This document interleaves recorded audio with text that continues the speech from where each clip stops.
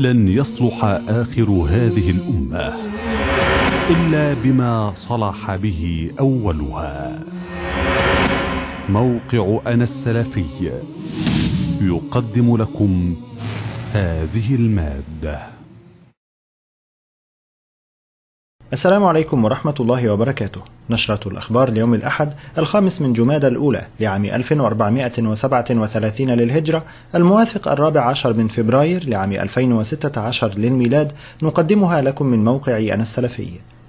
نعى حزب النور الأستاذ الدكتور محمد المختار المهدي الرئيس العام للجمعية الشرعية وعضو هيئة كبار العلماء للأزهر الشريف والذي وافته المنية فجر اليوم الأحد سائلا الله عز وجل له الرحمة والمغفرة ولأهله الصبر والسلوان.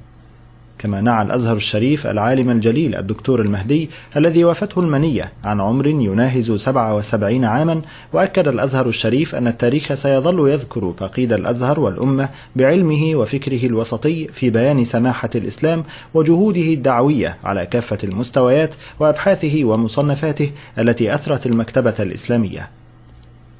نعى حزب النور الفقيدين اللذين راحا ضحية للإهمال الذي نتج عنه انهيار مسجد الأبعدية التابع لمركز الحامول بمحافظة كفر الشيخ والذي كان تحت الإنشاء متمنيا الشفاء لجميع المصابين. وكانت ارتفعت حالات الوفاة في الحادث إلى حالتين فيما ارتفعت عدد حالات الإصابة إلى 30 حالة إصابة مساء أمس.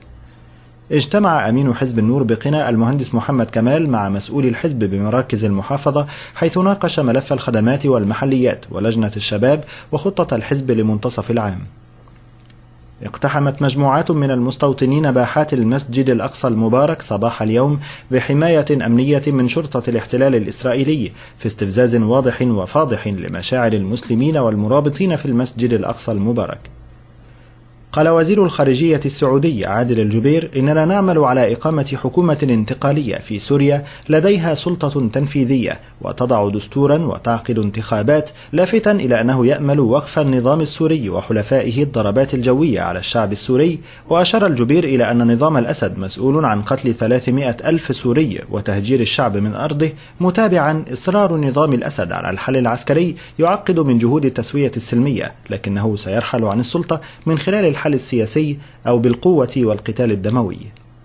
أقدمت عناصر تابعة لميليشيات الحوثي الإمامية صباح أمس السبت على إحراق مجموعة من نسخ القرآن الكريم بمحافظة البيضاء وسط اليمن. قال وزير الخارجية السعودي عادل الجبير إن سويسرا ستدير الشؤون القنصلية السعودية في إيران وستسهل مجيء الحجاج الإيرانيين إلى السعودية. أصدرت المحكمة الاتحادية العليا الإماراتية اليوم الأحد حكما بإعدام أربع إماراتيين هاربين بتهمة الانضمام للتنظيم الإرهابي داعش أدانتهم المحكمة بالمشاركة في الأعمال الإرهابية في الأراضي السورية وهو ما يعاقب عليه القانون الإماراتي. أعلنت حركة الشباب الصومالية مساء أمس مسؤوليتها عن تفجير أحدث ثقبا في طائرة تابعة لشركة محلية الأسبوع الماضي. بعد أيام على هتافات وتكبيرات لمعتمرين شاهدوا رئيس الوزراء التركي أحمد داوود أغلو في بيت الله الحرام رفع ثلاثة أتراك صورة للرئيس رجب طيب أردوغان في غار حراء. حث الرئيس الباكستاني ممنون حسين مواطني بلاده على عدم الاحتفال بعيد الحب وقال الرئيس إن عيد الحب الذي يوافق اليوم الأحد مستورد من الغرب ويهدد بتقويض القيم الاجتماعية في باكستان. أدان مرصد الإسلاموفوبيا التابع لدار الإفتاء إغلاق جامعة دورتموند للتقنية الألمانية غرفة استراحة يقيم فيها الطلاب المسلمون صلواتهم. قال المرشح الجمهوري لانتخابات الرئاسة الأمريكية دونالد ترامب إن الولايات المتحدة مسؤولة عن الفوضى في الشرق الأوسط وإن غزوها العراق خطأ فادح وأوضح ترامب أن غزو الولايات المتحدة العراق هو خطأ جورج بوش الأخ الأكبر لجيب بوش قائلا كلنا يمكن أن نرتكب أخطاء ولكن هذا الخطأ كان مختلفا. كان يجب علينا ألا نذهب إلى العراق نحن من دمر الشرق الأوسط. ألغت الحكومة المصرية زيارة كانت مقررة لرئيس وزراء الاحتلال بنيامين نتنياهو إلى القاهرة بعد تصريحات لوزير إسرائيلي أشار فيها إلى إغراق مصر لأنفاق حماس بطلب من حكومته وعبر الجانب المصري عن غضبه واستيائه من مثل هذه التصريحات العارية عن الصحة لقي شيخ بدوي يدعى أحمد أبو مراحيل خمسين عاما مصرعه مساء أمس السبت بمدينة رفح والذي قتل برصاصة في رأسه من تنظيم أنصار بيت المقدس بدعوى تعاونه مع القوات المسلحة.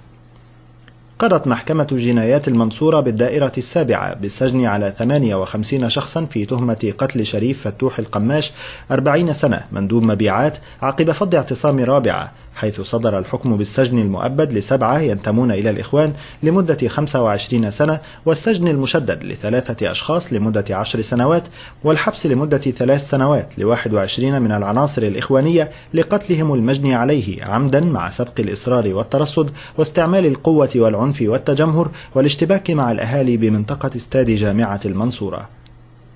توفي أمس السبت الطفل حديث الولادة الذي كان قد أصيب بحرق في إصبعه الأصغر داخل حضانة مستشفى بركة السبع المركزي نتيجة خطأ من ممرضة. حاولت تدفئته بوضع قرب مياه ساخنة بجواره مما أدى إلى احتراق أحد أصابع يده عقب تسرب المياه الساخنة من القربة. ومن جانبها أكدت الدكتورة هناء سرور وكيل صحة المنوفية أن الطفل توفي لولادته المبكرة حيث ولد في الشهر الثامن وكان يعاني من نقص في الوزن والتكوين مستبعدة أن يكون متوفيا متأثرا بإصابته بالحرق.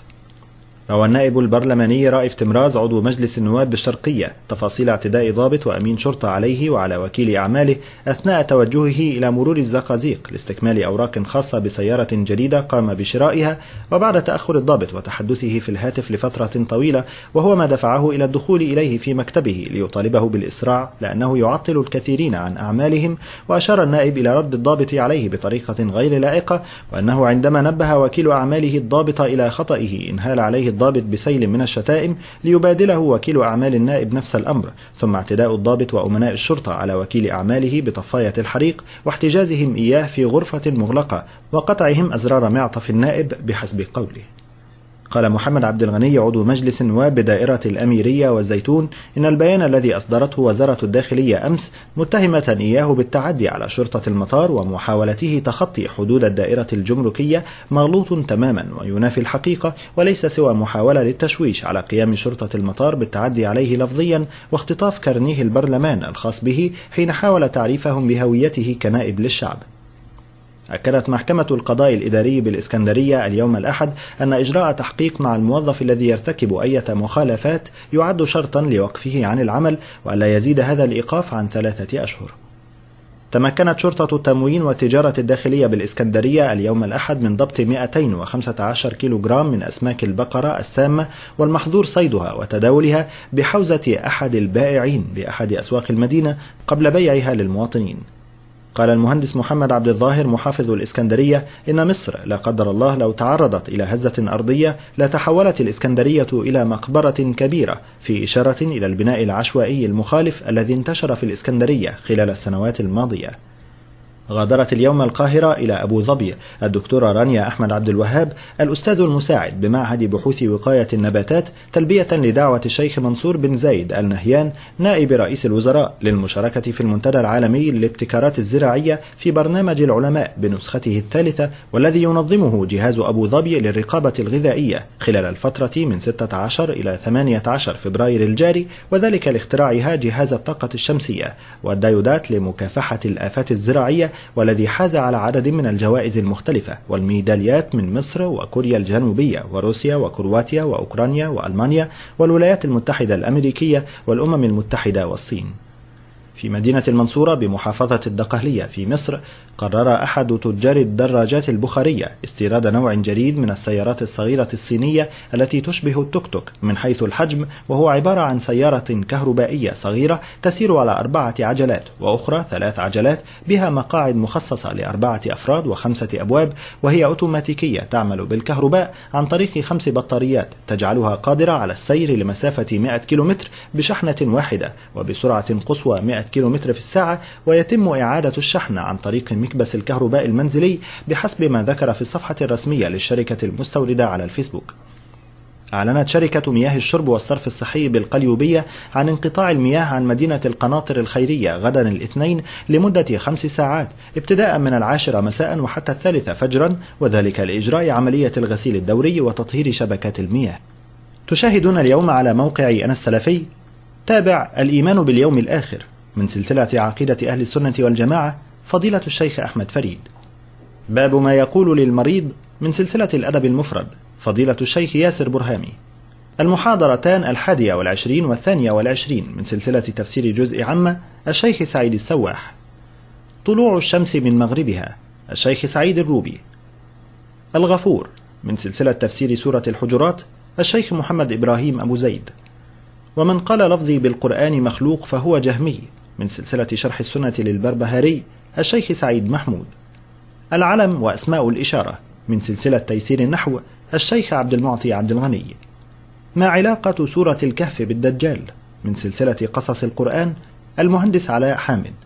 انتهت نشرة الأخبار من موقع أنا السلفي السلام عليكم ورحمة الله وبركاته.